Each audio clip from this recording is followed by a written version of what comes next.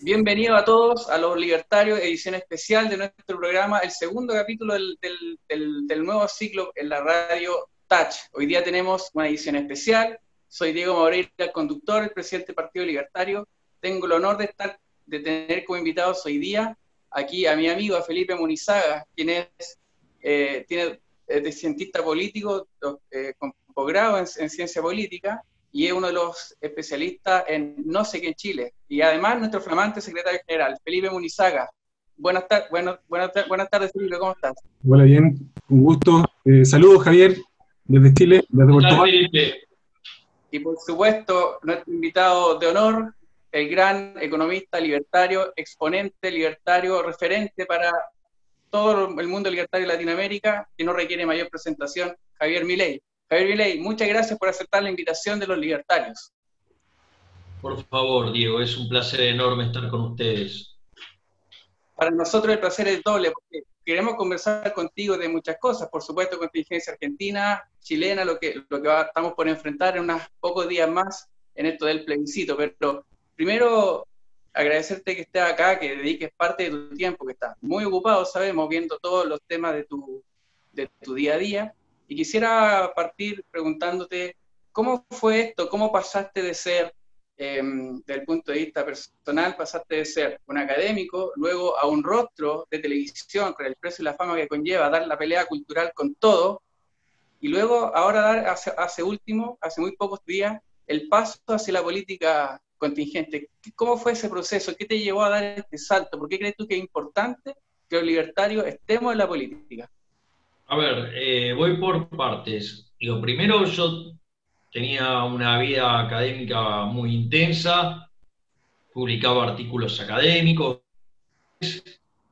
Después, eh, cuando publiqué un libro que se llama Política Económica contra Reloj, eh, donde presagiábamos una crisis de balanza de pagos y que efectivamente ocurrió, ahí, digamos, me, volví más popular, empecé a ir a los distintos canales de televisión, y ahí es cuando me, empecé a ser más conocido, y es ahí donde empecé a tomar un rol más importante en torno a lo que tenía que ver con la batalla cultural.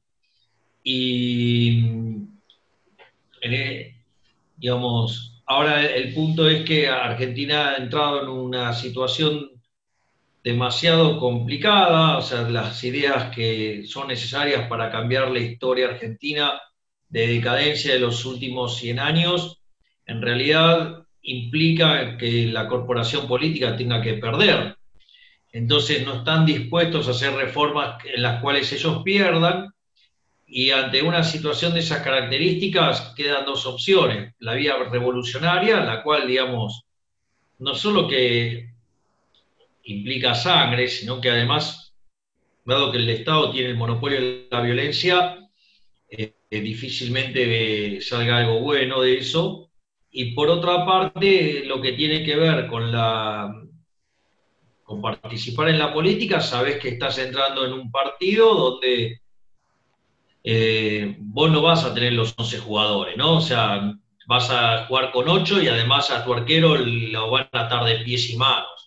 O sea, no, no es una competencia justa, pero, es la, pero dada la potencia y la fuerza de nuestras ideas, consideramos que efectivamente eh, podemos dar una, una buena batalla y poder plantar las ideas de cara al 2023. Por lo tanto, en ese sentido, yo creo que se puede llegar a dinamitar el sistema de adentro y por eso es que he decidido participar.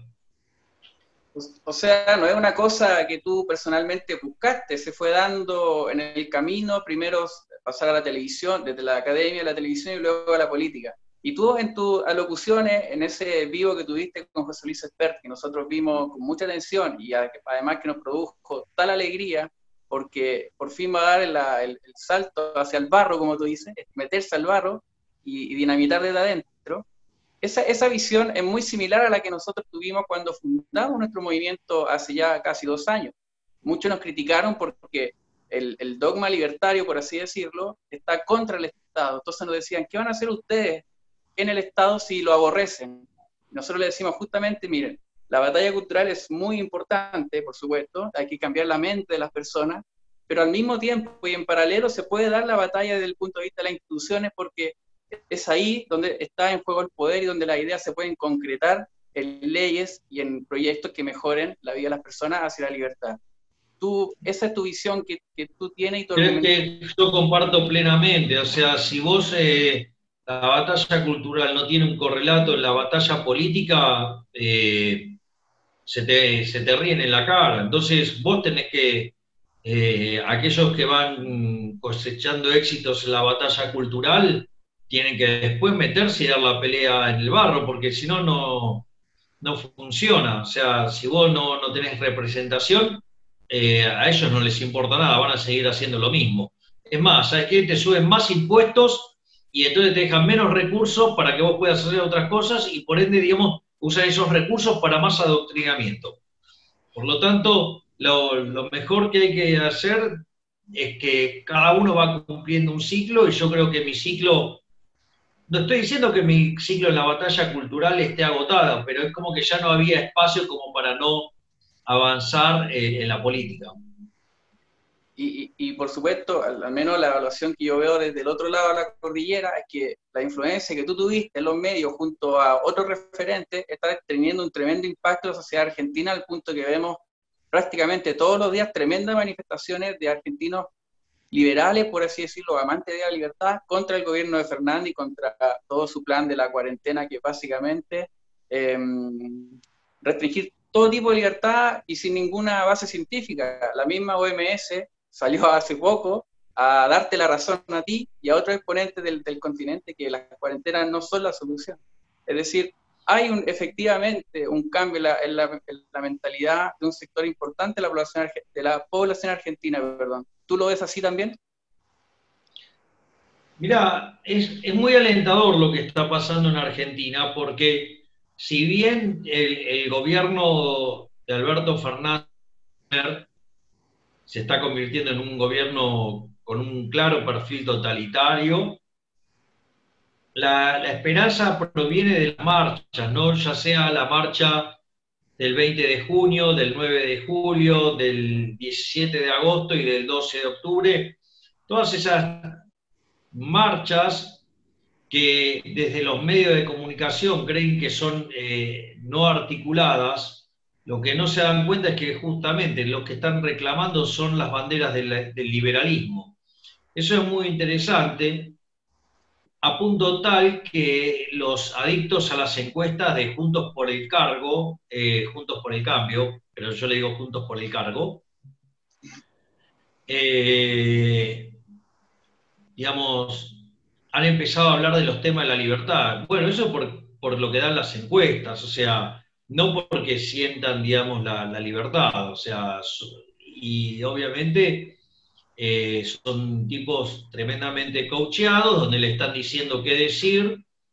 De, recordemos que eh, el asesor, el que era el asesor de Macri, Jaime Durán Barba, les recomienda directamente mentir de modo explícito, y esto no es menor porque pese al desastre que causaron Marcos Peña y Jaime Durán Barba eh, con sus influencias sobre Mauricio Macri, muy interesante porque en este contexto hoy eh, Horacio Rodríguez Larreta, que de modo irresponsable ya se está alargando la presidencial del 2023, eh, tiene como asesores a Marcos Peña y a Jaime Durán Barba, o sea que están dispuestos a, a mentir todo lo que sea necesario con tal de hacerse del poder y es interesante porque todas las las cosas que le achacan a los otros, ellos también las hacen, ¿no?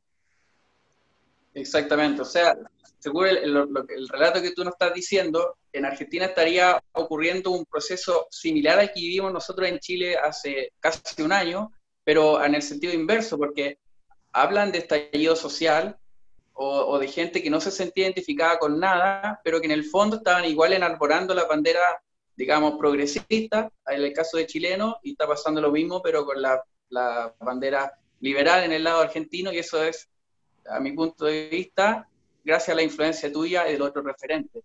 En ese sentido, y me gustaría que nos dé una definición o cómo, cómo tú ves la libertad o cómo el libertarismo es efectivamente la llave que el continente necesita para deshacerse de siglos de estatismo y de socialismo en general. Bueno, para mí hay tres criterios con los que lo evalúo. Uno es un criterio productivo, otro tiene que ver con un criterio de índole moral y otro que tiene que ver con un criterio de índole estético. El productivo es demasiado evidente. Es decir, los países más libres son ocho veces más ricos que los reprimidos. El decil más bajo está no solo once veces mejor que su par en el país reprimido, sino que además tiene un ingreso promedio que más que duplica al 80-90% de la población, de, el ingreso promedio, digamos, en un, país reprimido. Hay 25 veces menos de pobre en el formato estándar, 50 veces menos en el formato extremo. Por lo tanto, los resultados cuantitativos son inapelables. De hecho, la, izquierda, digamos, luego de que se les cayera encima el muro de Berlín, digamos, explícitamente, ¿no? Porque el muro no cae en 1989, el muro se cae el propio día que lo construyen en 1961.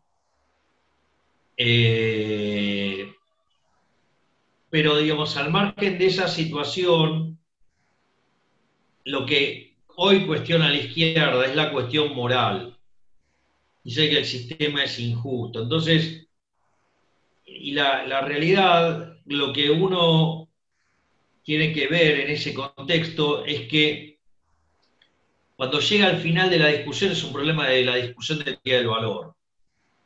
Y la realidad es que cuando vos mirás la retribución de los factores asociados a la teoría del valor subjetiva, la remuneración de los factores viene dado por ejemplo, el trabajo, el valor del producto marginal de trabajo. Y eso es precio por productividad, con lo cual hay un rol para la productividad y hay otro rol para el precio del bien que se está vendiendo. Y la realidad es que vos no podés ser exitoso, digamos, si no vendés un bien de mejor calidad o mejor precio. Por lo tanto, aquel que le va bien en el capitalismo en realidad es un benefactor social y se lleva lo que justamente está aportando al bienestar de la sociedad. Entonces, digamos, y modificar eso, digamos, o sea, tiene impactos dinámicos porque afecta a los incentivos, no solo que afecta, porque si vos vas a ganar determinada plata, pero una parte te la vas a ganar el Estado, entonces vas a ajustar tu comportamiento. Eh, entonces, después, digamos, todo ese proceso, ese proceso, digo, de la justicia social, digamos, es un trato desigual frente a la ley, digamos, eh, tiene implícito el robo, entonces, y eso además, eh, sobre el proceso de descubrimiento que es el mercado, digo, lo, complica. Eh, y lo, porque si vos no vas a poder usufructuar el fruto de tu trabajo, entonces, o sea, no, no, eh, no seguís descubriendo ni, ni tratando de hacer cosas, al margen de que bloquea ese proceso de descubrimiento también. por lo tanto, desde el punto de vista moral, la realidad es que en el fondo es qué hay detrás en los valores del capitalismo y los valores del socialismo. Entonces, detrás del socialismo está la envidia, el odio, el resentimiento, el trato desigual frente a la ley, el robo, el asesinato. Bueno, son unos valores espantosos. Ahora, ¿qué hay detrás del capitalismo? Bueno, está, digamos, lo, lo que tiene que ver con el respeto de la propiedad privada, con mercados libres, o sea, sin la intervención del Estado, con libre entrada y salida, cooperación social, ¿sí? división del trabajo, digamos, el ahorro como motor que financia a la inversión, ¿sí? y digamos, y donde vos solamente vas a ser exitoso sirviendo al prójimo, conviene mejor calidad o mejor precio, con lo cual el exitoso es un benefactor social, sobre todas las cosas que el liberalismo no es ni más ni menos que, como señala Alberto Venegas Lynch, hijo, es el respeto irrestricto del proyecto de vida del prójimo. Por lo tanto, cuando vos vas sobre la base moral, te das cuenta que el sistema también es superior moralmente, que los resultados que genera son. Y, a partir de ahí ya digamos, entonces queda solo una cuestión estética, ¿no? Y en la cuestión estética uno no tiene más que comparar, por ejemplo, los autos que se producían en la Unión Soviética o el Lada, o lo que era el Dacia, que se hacía en, Rumania, eh, contra, digamos, lo que eran los autos de capitalismo, ¿no? O sea, el Bentley, digamos, el Rolls Royce, el Mercedes-Benz, la Ferrari, Lamborghini, el Lotus, Maserati, BMW, el que quieras, o sea. Eh, por lo tanto, no solo hay una superioridad en lo productivo, sino que también es en lo moral y también en lo estético, ¿no? La pregunta es, ¿qué te gustaría estar rodeado? ¿Por las feminazis de alguna de esas marchas feministas o digamos por las chicas de Hooter? Bueno, no hay, no hay, no hay mucho espacio para la duda ahí en este caso. Estamos con Javier Milei en vivo, saliendo por las pantallas, o más bien por todas las plataformas de Radio Touch TV, un programa que está siendo eh, lleva un, desarrollado gracias a los amigos de Mega Tasty. Tengo que mencionar a, a nuestro oficiador, Mega Tasty, la mejor sandwichería de Colina. Lo pueden ubicar a través de sus redes sociales.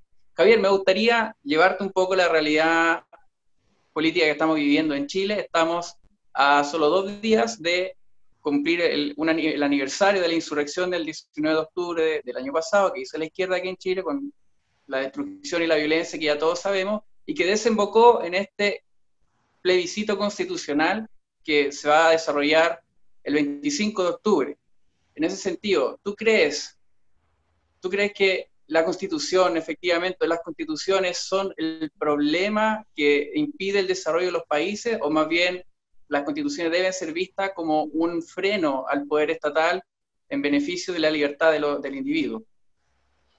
A ver, las constituciones liberales, o sea, están pensadas en la idea de la república, donde básicamente tiene la república. Por ejemplo, el emperador, digo, el presidente, digamos, es básicamente la figura del emperador, pero buscando que no se convierta en un dictador, ¿sí? en un déspota. Tiene en la figura de la aristocracia, que vendría a ser el, el Congreso, y el sistema debería evitar que se vuelva en una oligarquía. Y por último está, digamos, la cuestión del sistema judicial, que es el que hace el contrapeso Básicamente, eh, el Estado, digamos, para aquellos que creen en la existencia del Estado, está para preservar el derecho de propiedad y la Constitución está diseñada para preservar a los individuos del Estado. Eh, el problema radica en cuando se cae a lo que se llama en una democracia ilimitada, que es básicamente el populismo. Y bueno, digamos, no tendrían que más que espiar detrás de la cordillera para ver los desastres que ha hecho el populismo. Es decir, Argentina empezó a abrazar las ideas socialistas en 1916 en el gobierno de Irigoyen. Digamos, eso eh, al principio no se notaba tanto los daños que se estaban causando, porque como Argentina era, junto a Estados Unidos, el país más rico del mundo, digamos, oscilaban primero, segundo, pero estábamos ahí. Pero lo que se ve es que a partir de ese momento se empieza a abrir una brecha en favor de Estados Unidos, lo que pasa es que Argentina no iba perdiendo muchos puestos porque los países que venían atrás venían muy lejos.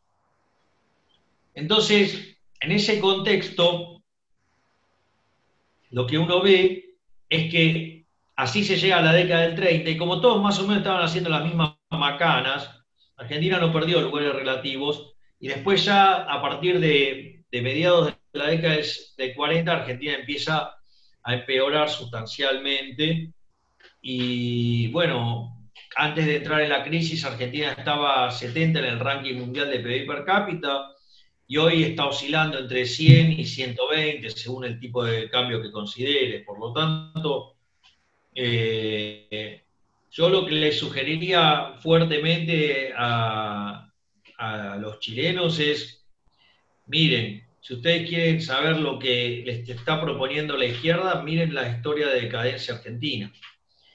Eh, cuando vean, digamos, el desastre que va a terminar explotando acá en Argentina, se van a dar cuenta que ese no es el modelo que deberían abrazar.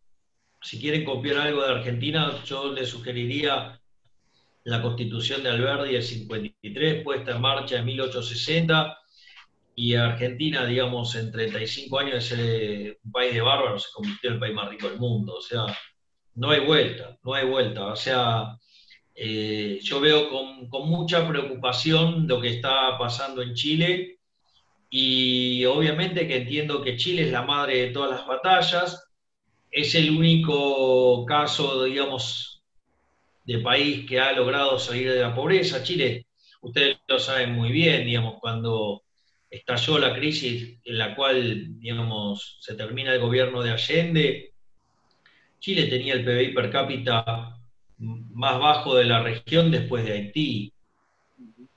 Eh, Chile tenía más de 80% de pobres, o sea, Chile tenía una inflación monstruosa y, lo que ustedes ven es que hoy Chile está a, a pocos pasos de alcanzar los niveles de PIB per cápita de un país desarrollado, la pobreza está debajo del 10%, la inflación, digamos, está en los estándares normales a nivel internacional, tiene la mayor movilidad social ascendente, más del 90% de los chicos terminan el secundario, están primeros en las pruebas PISA. La verdad que, digo, si bien uno podría cuestionar, digamos, que se debería haber avanzado más, y haber profundizado más el modelo hacia el liberalismo, el problema, digamos que desde mi punto de vista, generaron toda esta tensión, son resultado de, lo que fue el gobierno de, Bachelet, que empezó a atacar eh, a, la, la libertad, y eso terminó, digamos, estancando a la economía, y cuando vino Pinochet, no quiso, no pudo, no tuvo las agallas pertinentes para revertir esas reformas que tanto daño le hicieron. Y, y además creo que también hubo un, hubo una intencionalidad desde la izquierda. No olviden que eh, el foro de San Pablo, digamos, sigue presente y, el objetivo de conseguir la Unión Soviética Latinoamericana sigue presente. Así es, Javier. Tú dijiste una frase que, caló muy fuerte aquí en Chile cuando viniste la última vez invitado por el Partido Libertario. Hiciste una arenga que se hizo muy viral cuando mencionaste que Chile era precisamente la madre de la batalla. Y por eso es importante que movimientos como el nuestro se institucionalicen y den esa pelea en el barro, porque efectivamente la madre de la batalla. Te voy a dejar ahora em, con Felipe Munizaga. Tiene algunas preguntas que hacer. ¿Cómo estás, Javier? ¿Qué tal, Felipe? Un gusto enorme. Igualmente. Eh, Javier, en alguna entrevista eh, tú te definiste como un minarquista estático y un anarcocapitalista dinámico. ¿Podrías explicarnos eso? Mira, el punto es el siguiente. Yo tengo una. Uno lo podría llamar, si querés de otra manera, en el plano normativo soy anarcocapitalista. En el plano positivo soy minarquista. O sea, uno constituye mi visión de cómo debería ser, ¿sí? Y es más, cuando vos esto lo pones en términos dinámicos y ves cómo va transformándose el mundo a la luz del progreso tecnológico, yo estoy convencido que cada vez es más probable un mundo sin Estado. O sea, desde el punto de vista conceptual. De hecho, fíjate que parece tan lejos y no lo está, porque vos sabés que, por ejemplo, en, Japón hay un hotel de, la máxima categoría y que cuesta la mitad que el resto. Entonces la pregunta es, ¿por qué cuesta la mitad que el resto? Es atendido por robots. Es más, hasta los robots tienen capacidad de hacer empatía. O sea, digo, para tener un, y cuando hablo de un robot, no hablo, digamos, de, de Asimo, que es un robot muy elemental, ¿no? O sea, hablo de, otro tipo de robots. O sea, de hecho, eh, en, un, se hizo un trabajo en, una universidad de muy primera línea en Estados Unidos y hacían clases virtuales y había un, tres profesores y uno de ellos era, era una máquina. Y en realidad, digamos, los alumnos eligieron como mejor profesor a la máquina. Porque, digamos, no fallaba nunca, porque además era súper empático, o sea, entonces, ah, y es más, esos, avances también, digamos, se están dando en el plano de la medicina y, y también en el plano de la justicia. Entonces, no es que está tan lejos ese mundo, por decirlo de alguna manera, pero de vuelta, pero no es algo que todavía puedas decir, está ahí, o sea, Y al alcance de todos. Entonces, de corto plazo yo soy un minarquista, digo, yo considero que la, lo, por lo único, digamos, que consideraría la existencia del Estado es por los temas de seguridad y justicia. Eh, y conforme evoluciona el progreso tecnológico, deberíamos avanzar hacia una solución anarcocapitalista. Por eso mismo, ¿cuál sería la diferencia dado lo que tú me acabas de señalar, entre un astrólogo y un economista keynesiano? Ninguna. No, no, el astrólogo es más serio. No, veo por qué ofender a los astrólogos de semejante manera. Bueno, no es necesario. Eh, derivado, derivado de esa pregunta, eh, tengo que preguntarte necesariamente, eh, recientemente acaban de obtener el Nobel de Economía los profesores Milgram y Wilson, que ambos son matemáticos y estadísticos de una de las mejores universidades del mundo, Stanford. Eh, básicamente sus investigaciones han estado enfocadas fuertemente en la teoría de subastas. Datos, siempre hablamos de los datos, tú siempre hablas de los datos. Mi pregunta en el fondo es, ¿por qué crees tú que los gobiernos son tan reacios a ocupar los datos, tan reacios las sociedades, por ejemplo, a reconocer los datos? Cuando eh, Diego eh, te preguntó al principio respecto del tema de las estadísticas de Chile, y tú las señalaste, eh, todo lo que avanzó Chile desde el punto de vista del combate a la pobreza, ¿por qué crees tú que una parte de la sociedad, inclusive los que toman decisiones políticas o generan políticas públicas, son tan reacios a ocupar los datos? Mira, acá hay algo que desde mi punto de vista es maravilloso, está en un libro de, Axel Kaiser que se llama eh, La fatal ignorancia, que él describe el problema que lleva el intelectual de derecha o el intelectual liberal respecto del intelectual de izquierda. Y acá el rol fundamental, digo, porque Axel lo trata con el tema del financiamiento y vos si te dedicas a la izquierda tenés financiamiento del Estado y si querés ser liberal las empresas consideran que es una estupidez gastar plata en esto. Entonces, y eso es muy importante porque en los distintos países ha ganado Gramsci. ¿Me comprendés qué decía Gramsci? Casi parece una falta de respeto que yo lo cuente, digamos, eh, digamos frente a alguien que sabe de política, eh, científicamente. Eh, pero ¿qué decía? Que vos tenías que tomar los medios de comunicación, la educación y los artistas. Y dentro de esa lógica que, que Axel describe tan bien, ellos se metieron adentro de la educación y eso no solo lo hicieron en Chile, en Argentina es mucho más grosero. Eh, en Argentina el, debate es mucho más, más violento. O sea, eh, Axel, por ejemplo, mostró lo que es eh, la bibliografía en sociales, ¿no? Dios, vos estudiás sociología. Son todos libros de izquierda. Todos, todos, todos, todos. No, no, Cuando vos estudias, por ejemplo, en la, en la Universidad de Buenos Aires, estudiás economía, no hay cursos liberales, hay en realidad un solo curso que es de Historia del Pensamiento Económico 2, que es una materia opcional y que se da lunes, miércoles y viernes. ¿Por qué? Porque cuando vos tenés los feriados puentes que se hacen en Argentina, pierden clases. Es decir, eh, y además, o sea, eh, se persigue a los liberales, se los cuestiona, o sea, eh, no.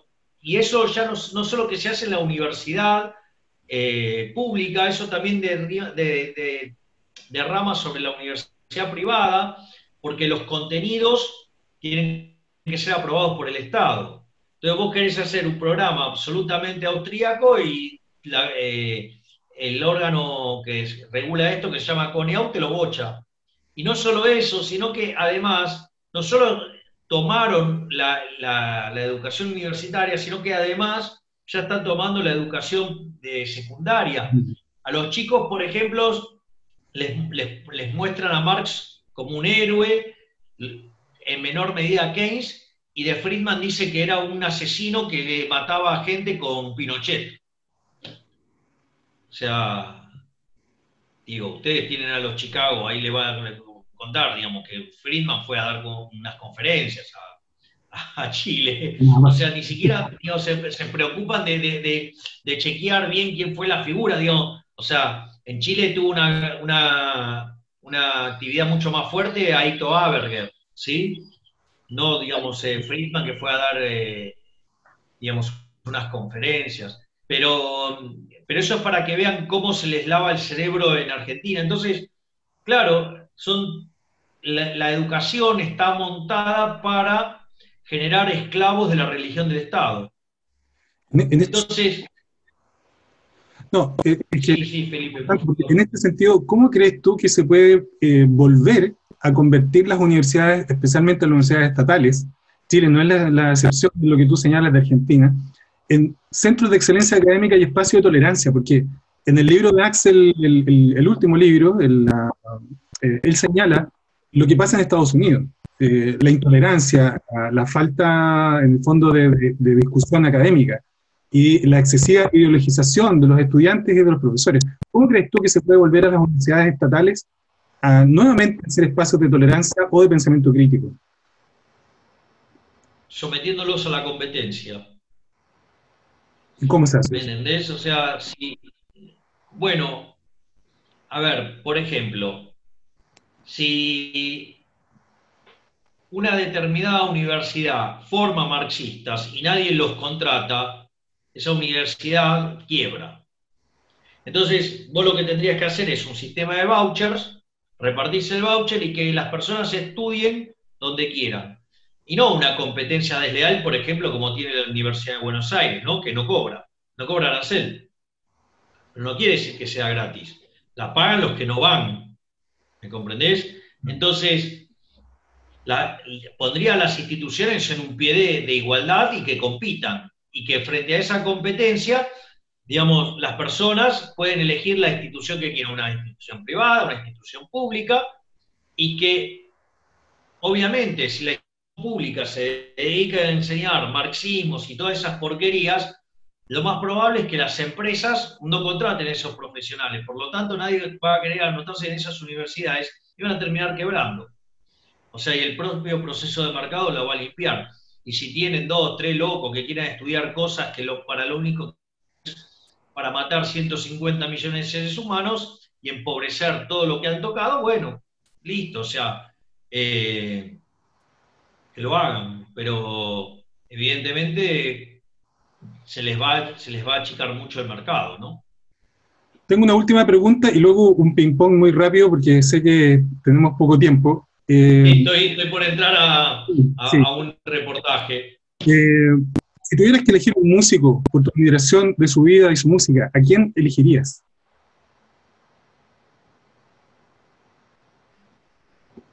Y es muy difícil.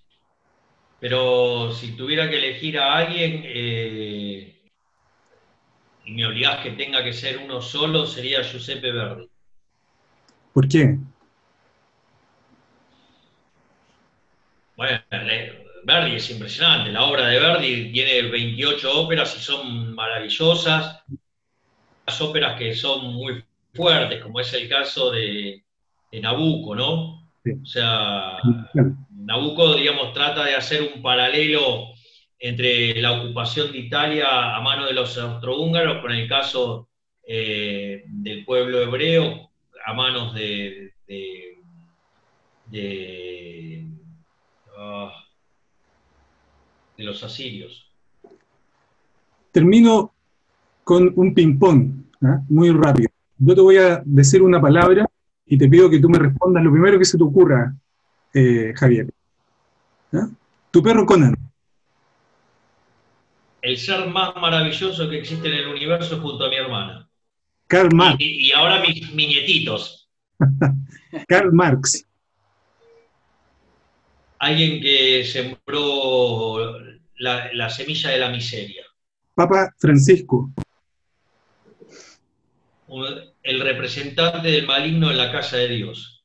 Cristina Fernández de Kirchner. Eh, junto a su marido, lo peor que le pasó a la historia argentina.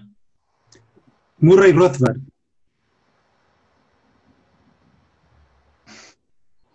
El más grande de todos. La cara. De los Amor.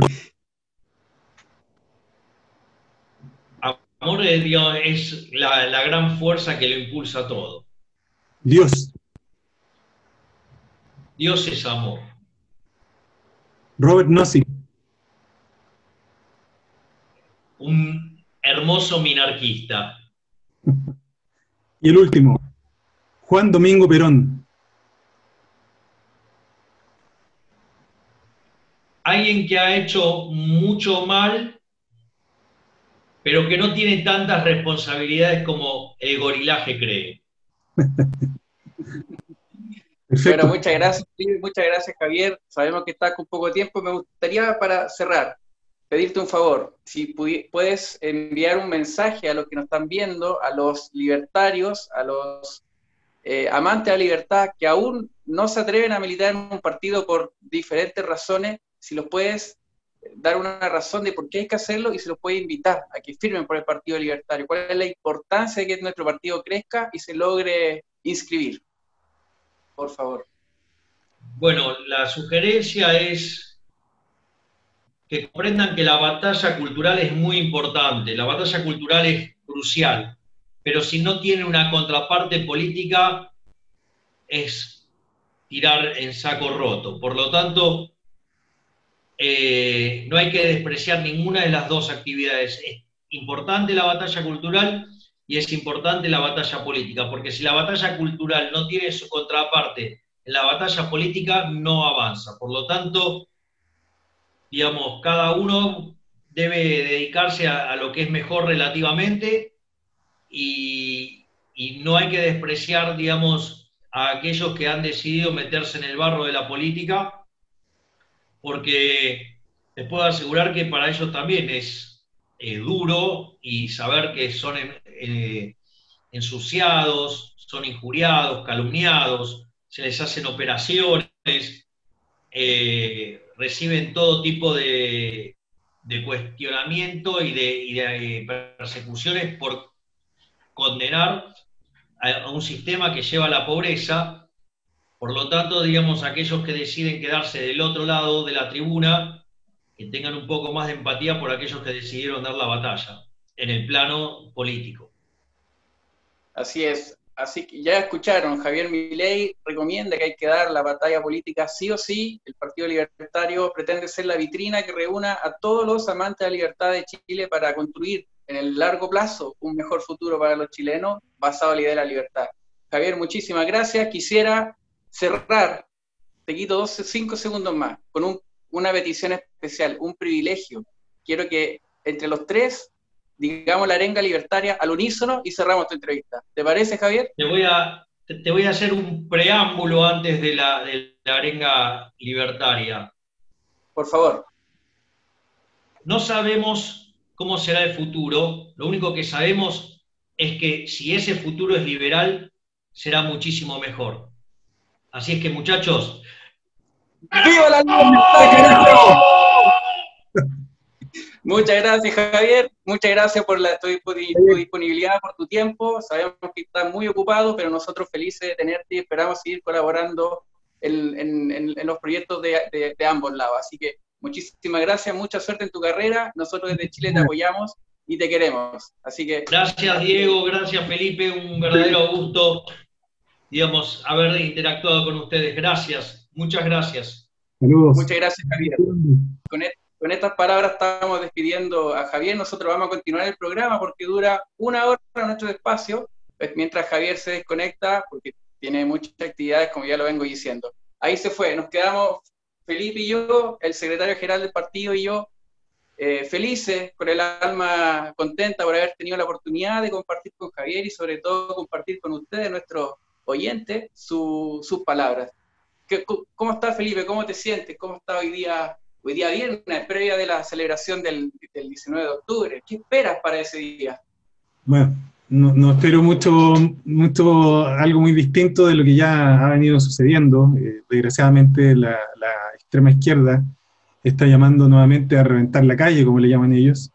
Y el día, eh, hace pocos días, recién la centro izquierda o la izquierda caviar eh, ha comenzado a reaccionar y un año después de la violencia comienzan a decir que que por favor ya no haya violencia. Parece que eh, estuvieron un año de vacaciones y recién están viendo la, prensa, recién están viendo los incendios, los ataques, los asesinatos de, los que hoy día pretenden escribir nuevamente la historia de Chile o quieren o piensan que nosotros podemos comenzar desde una hoja en blanco.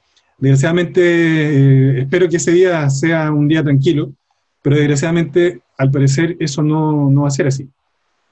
Eso, eso es bastante llamativo, pero a la vez no lo es. El hecho de que las la fuerzas, digamos, políticas moderadas o, institucionalizadas, orgánicas, em, con, digamos, con líneas verticales de mando y todo, como corresponde a un partido político formal, empiecen ahora a, digamos, a, renegar de su apoyo a la violencia que hace, hace menos de un año estaban todos felices así mis niños de la primera línea los recibían en el Congreso, los trataban de héroes, los medios en general, llamándolos luchadores sociales, y ahora salen a, a, a desmentirlo, o más bien quitarle el apoyo.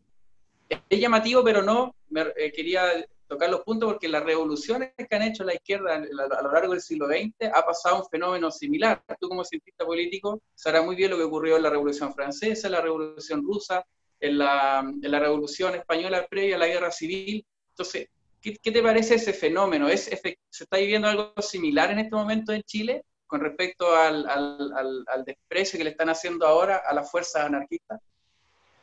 Bueno, los procesos insurreccionales siempre son complejos, pero casi son de manual. Eh, en general, tú nombraste varios, varios procesos revolucionarios, insurreccionales, y todos tienen un, mínimo común denominador previo, que es la anomia. La anomia es esta falta de cumplimiento de las normas. Veíamos el otro día a esta fiscal, que prefiero no nombrar, que parece que tiene un, hijo eh, encapuchado, eh, al parecer también tiene una animadversión contra carabineros eh, de manera bastante abierta. Y esto mismo se hubiese pasado en otros países como Estados Unidos o países anglosajones, un fiscal hubiese sido tal vez expulsado del, órgano jurisdiccional. Eh, extraña que eso pase, pase en Chile. Eh, hay un nivel de impunidad bastante grande. Eh, recién veíamos hace dos días o tres días que un tipo que quemó a un carabinero tiene dos años de cárcel, tres años de cárcel creo. ayer un teniente de carabinero fue nuevamente incendiado, se fue quemado, gran parte de su cuerpo. hace una semana dos semanas atrás, otra persona fue asesinada, hoy día sabemos que con armamento de guerra, entonces tenemos que dejarle eufemismo, o sea, hoy día no hay eh, otra cosa que decir que en la Araucanía hay guerrilla, y que estos tipos que en el fondo arrojan molotovs, que atacan a carabineros, que hostigan a carabineros, eh, veíamos hoy día o ayer eh, un video de Marcel Claude, donde prácticamente señala que el, objetivo final es destruir completa y absolutamente el poder político, independientemente si es la centroizquierda o la, o la derecha. O sea, a la izquierda extrema no le importa destruir la institucionalidad vigente en Chile, no le interesa. Eh, y eso, y ese, ese, ese, grupo es el grupo que está hoy día llevando el carro de este proceso revolucionario, insurreccional. Entonces tenemos que tener claridad en eso, en, términos que eh, este proceso no va a terminar. Eh, hay gente que cree que votando por el apruebo la violencia va a acabar. Y la verdad es que la violencia no va a acabar. La violencia probablemente va a, ser más profunda, a, aumentar, y hacerse un poco más sistémica, un poco más eh, sistemática a lo largo de Chile. Creo que nos esperan horas muy difíciles, eh, nos esperan horas muy complejas, Y creo que es un buen signo que hoy día la centro izquierda haya sacado la cara y haya sacado la voz y hoy estén condenando lo que ya viene pasando desde hace un año, eh, la violencia extrema. Claro, más vale tarde que nunca, dicen, peor es nada, otro, otro dicho. Oye, y tú como cientista político me imagino que has hecho análisis constante, acabado de, todo este proceso y de la sociedad chilena en general. Eh, ¿Tú efectivamente crees que la hegemonía, que, es lo, que, lo que conduce en el fondo los procesos, que nada de esto es espontáneo, está realmente en la extrema izquierda, la, izquierda asistémica, la, la, izquierda antisistémica, digamos, no, no, no, institucionalizada. ¿Tú crees que efectivamente es así, que ellos están conduciendo el, carro? Yo no tengo ninguna duda. El, eh, yo fui profesor de Historia del Pensamiento Político en, en una universidad estatal, la Universidad de Chile, eh, y antes de, estuve en políticas públicas y en otras asignaturas parecidas me tocó durante muchos años ver cómo, cómo esto iba creciendo. En el año 97 yo escribí un, un documento eh, que ha sido citado en un par de, un par de libros eh, respecto a los grupos que yo llamé en esa oportunidad grupos protoanárquicos, que eran grupos que incipientemente podían acercarse al anarquismo. Eso fue el año 97. Y mi tesis al respecto es que el, este proceso comienza cuando los grupos, eh, hay ciertos grupos que van un poco más atrasados en su evolución, o su desarrollo en la sociedad, eso es evidente, eh, comienza este proceso de globalización en que, en que Chile está y el desarrollo o el crecimiento económico no llega a todos los grupos y hay ciertos eh, espectros de la, de la, parte política eh, que en el fondo toman estas estas situaciones de injusticia o de, de, situaciones complejas, digamos, en el ámbito de la pobreza y comienzan a desarrollar una estrategia para interrumpir en el poder o irrumpir en el poder. Eh, y esto pasó, esto comenzó a pasar en las universidades primero. Eh, las universidades estatales comenzaron a tener grupos que eh, primero eran, eran pintorescos, hoy día no son pintorescos, hoy día son grupos que dominan los colectivos, hoy día dominan las asambleas, hoy día prácticamente tener una visión un poco distinta de la hegemonía de, la extrema izquierda en algunas universidades implica el riesgo de, ser golpeado, de ser humillado, de insultado, atacado, eh, como tenemos muchos casos que han pasado en los últimos años. Entonces, cuando hablábamos recién con, con Javier Milei respecto del tema de las universidades estatales, eh, esto es un, fenómeno mundial. Estados Unidos tampoco está exento de esto. El problema es que hay mucha gente que mira hacia el lado, mira, mira hacia arriba. Los directivos de las universidades estatales, de las universidades públicas, muchas de ellas, o sea, perdón, estatales, eh, no, no, toman las decisiones que son necesarias de hacer en términos que hoy día sabemos que la, eh, principalmente eh, hay, una, hay, un, hay de grupos políticos que quieren necesariamente imponerse sobre los otros con métodos no democráticos. Entonces, ¿cómo se combate eso? Es muy difícil hoy día, porque ese virus ya está inoculándose en todas las universidades nuestras, en los, colegios. Vemos, por ejemplo, que hay un foco en, algunos liceos, liceos estatales, en municipales, perdón, en Providencia. Eh, otros en el, Instituto Nacional, en el, y otros tantos colegios que tienen encapuchados y que no los han podido erradicar. Eso, eso em, te, quería preguntar un, poco al respecto de eso, porque ahora, en el 2020, parece un poco difícil atajar este monstruo que se fue gestando, digamos, en el, en tiempo. Tú, como lo mencionaste, en el 97 en tu, en rol de académico pudiste detectar la existencia de grupos protoanárquicos, ¿cierto? Que estaban en gestación. Eh, ¿Tú crees que en ese sentido que fue eh, un error, una, una, una, una, falta de visión estratégica, un problema de inteligencia, o simplemente mirar en menos que la existencia de estos fenómenos que estaban naciendo en los jóvenes chilenos, em, o, o, o, básicamente los dejaron crecer, digamos, para que llevar a cabo un plan. Yo creo que lo, que lo que acabas de señalar, yo creo que aquí hay un, un tema que se dejó crecer. A estos grupos no se les tomó el peso de lo que está, no se tomó el peso de lo que estaba pasando en, la, en las universidades. Todos los procesos revolucionarios normalmente parten de una intelectualidad que, que no es pobre, que, que no es eh, eh, eso es, la burguesía, es la misma burguesía. los, dirigentes del MIR eh, gran parte de la dirigencia del Partido Comunista eran personas pertenecientes a, lo que ellos llaman la burguesía, la burguesía chilena. Entonces, eh, tenemos que entender que en el fondo hay una intelectualidad que eh, está enamorada del marxismo, está enamorada del comunismo y, y, lo plantean desde el punto de vista cultural, desde el punto de vista social, desde el punto de vista político. Para ellos no es incompatible ninguna de estas tres esferas, ellos se mueven dentro de estas tres esferas. El punto es que en algún momento de la historia de Chile, eh, esto comenzó a permear una serie de, instituciones. Hoy día hay sindicatos anarquistas, hoy día hay eh, eh, federaciones de estudiantes, que aunque suene contradictorio, que, tienen orientación anárquica. algunos de estos grupos, por ejemplo, en, los procesos eleccionarios se roban las urnas y las queman. o sea, hay, una, cantidad de, de, problemas que están vinculados con eso. Yo creo que este fenómeno no se, no se percibió adecuadamente, no se le cuantificó, y hoy día está eh, en todo nuestro país, y especialmente lo que a mí me preocupa es la guerrilla, porque es guerrilla que existe hoy día en, en la Araucanía. Eh, independientemente de lo que uno pueda pensar de la historia, de lo que ha pasado con, el, con la nación o pueblo mapuche, independientemente de eso, no es, no es legítimo usar la violencia para imponer los puntos de vista de nadie, menos nosotros que pensamos, obviamente, eh, que, que, la violencia no, nosotros no la debemos aceptar simplemente eh, en respuesta a un acto donde nuestra vida, libertad o propiedad es inminentemente eh, eh, puesta en riesgo, digamos, pero bajo ningún otro concepto uno debiera aceptar la violencia.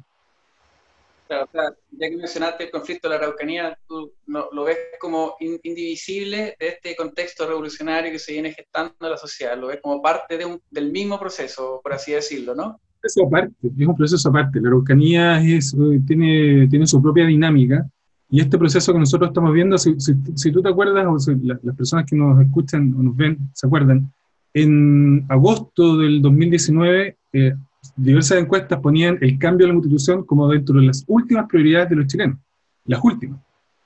Y, bastó que eh, ciertos grupos extremistas comenzaran a poner el tema en la agenda y yo creo, engañaron a muchas personas pensando que el, el problema de, de, algunas situaciones institucionales o de políticas públicas era la constitución. Y con el tema de la pandemia pues, empezamos a ver que no, que no era así, que no había que cambiar la constitución para mejorar el tema, no sé, de las pensiones. Hay un proyecto que se está discutiendo hoy día en el, Congreso, eh, que hay problemas que son de carácter institucional, que son problemas que son del Estado, no de la constitución. Entonces hay muchas personas que incluso están a favor de cambiar la constitución, pero nunca han leído la constitución. Y más, hay personas que creen y dicen, bueno, esta es la constitución de Pinochet, pero resulta que la Constitución eh, ha sido reformada decenas de veces, decenas de veces, y en la firma de la actual Constitución aparece el nombre de Ricardo Lago Escobar, eh, que fue uno de los presidentes, en el fondo, que promovió un cambio constitucional importante, donde votó cerca del 73% de los chilenos. Entonces, yo digo abiertamente, ¿cuánta gente va a votar en el plebiscito? ¿Cuánta gente va a votar? ¿75, 80, 85%? Eh, porque si vota menos del 73%, va a ser una constitución menos legítima que la constitución que se aprobó con la participación del pueblo de Chile en la época de Ricardo Lagos Escobar. Sí. Oye, Felipe, y eh, bueno, todos tenemos una visión media pesimista del futuro, pero ¿qué, ¿qué, qué, opinión te merece el rol o el no rol que tuvo la derecha en todos estos 20 o 30 años? Aquí, libérate, sí, no, voy a esperar para, todos lados, pero la derecha en, el fondo fue, eh, a ver, la impulsora del gran cambio institucional chileno, eso es evidente. Ahora, el problema es que tanto la derecha como la centroizquierda, o la, o la centroderecha y la centroizquierda, en los últimos 10 años, y, y creo que es coincidente con el gobierno de Ricardo Lagos, eh, no, no, no, empezaron a leer lo que estaba pasando también en la sociedad. Y aquí ya yo tengo otra, otra tesis respecto a por qué está pasando esto en Chile. El, en Chile se expandió la educación universitaria. El, el año 80, el, si no me falla la memoria, el, solo el 8% de los jóvenes llegaba a la universidad. En el año 2016, cerca del 70%, y la mayoría de ellos es, es primera vez que es la primera generación de su familia que llega a la universidad. Entonces, hay una expansión importante del conocimiento, hay una expansión importante de, las posibilidades educativas. Entonces, ¿qué pasa? Que en algunos casos, eh, no hay un adecuado cruce entre lo que alguien estudia y lo que el mercado demanda. Entonces, hay personas que de repente estudian alguna determinada carrera, por ejemplo, sin desmerecer a nadie, una carrera de filosofía, sociología, no sé qué, especialmente el ámbito de las ciencias sociales, pero resulta que hoy día la sociedad está demandando ingenieros eh, civiles industriales, o está demandando ingenieros geólogos. Exactamente. Entonces, el, el tema del cruce de la, oferta con la demanda en, el tema educacional es complejo. Entonces, ¿qué pasa? Que obviamente en algunas capas de la sociedad hay algún grado de frustración por no percibir o no recibir las rentas que ellos sienten que deberán recibir. Y como lo dijo Javier Milei hace un rato, la productividad media eh, marginal, en el fondo, que es, el valor de cada uno de nosotros en su trabajo o lo que uno genera desde el punto de vista de su propio trabajo, y la escasez también de las habilidades que uno pueda representar, son, dos de los factores determinantes en, lo que uno recibe como ingreso. Entonces, hoy día tenemos un tema de, de, habilidades humanas, de capacidades, de, que, no, que no está bien, y que eso hace que eh, ciertas personas o grupos de personas eh, hayan pasado, estudiado en la universidad y no estén recibiendo los ingresos que ellos eh, sienten que deberán recibir. Entonces eso, eso en sí mismo es un problema. Y, y esto sumado a um, un tema en que hay efectivamente colusión en algunos ámbitos de la vida económica y la gente lo ve como, un, como efectivamente es un abuso, eh, entonces eso genera también un ruido muy grande, y claro, y los poderosos, ¿por qué les dan clases de ética y a otros lo, llevan a la cárcel? Y tiene una cierta... Tiene un sentido, claro. O sea, es evidente que el, sistema tiene muchas ventajas, pero también tiene sus debilidades, como todo lo que crea el hombre, tiene sus pros y sus contras. Pero y, claro, y, lamentablemente se pueden generar sentimientos de frustración, de rabia, envidia, etcétera, que la izquierda se encarga de exacerbar, por así decirlo. Y está bien, es parte de su juego, porque ellos obviamente están en contra y creen que su sistema es mejor y van a exacerbar las debilidades del adversario y, digamos, enaltecer sus bondades, si es que las tienen. Pero vimos que del otro lado no hubo ni lo uno ni lo otro ni exaltaron sus virtudes, ni tampoco exacerbaron la diferencia del otro. Básicamente no hacían nada. En ese sentido, ¿tú crees que, o al menos una, una, una, sensación mía, no sé si la comparte, para mí los principales culpables de lo que tenemos hoy día es la derecha, no la izquierda? Porque no dieron la, la, la, batalla cultural, ya que lo mencionamos con Javier, ni menos política para defender las ideas y los principios del sistema que ellos mismos ayudaron a implementar en Chile. Bueno, Entonces, eso, eso, me parece me parece un, un, pecado o una traición a sus bases y a su gente y al futuro de Chile. Y además, y, para qué decirlo que políticamente ni siquiera dieron el tiraje a la chimenea, que nadie se siente representado por ello. Entonces yo pienso, eh, desde mi perspectiva humilde, de humilde servidor, que ellos tienen que definitivamente eh, dar un paso al costado, ya, ya nos dieron el ancho, y ellos nos heredaron a nosotros y a nuestros nuestro descendiente, un mundo totalmente incierto que muy probablemente sea más cargado hacia una izquierda más dura, porque en la mente de la gente, o sea, la batalla cultural la ganaron ellos, y muy probablemente van a votar por proyectos políticos acorde a ideas más radicalizadas. Entonces, la, la, tarea que tenemos nosotros, los que estamos entrando recién, es muy dura en ese sentido, y, pero aún así nos siguen aportillando, nos siguen eh, tapando oportunidades, los empresarios no financian política porque, como lo dijo Milei, encuentra que es una pérdida de tiempo y de recursos.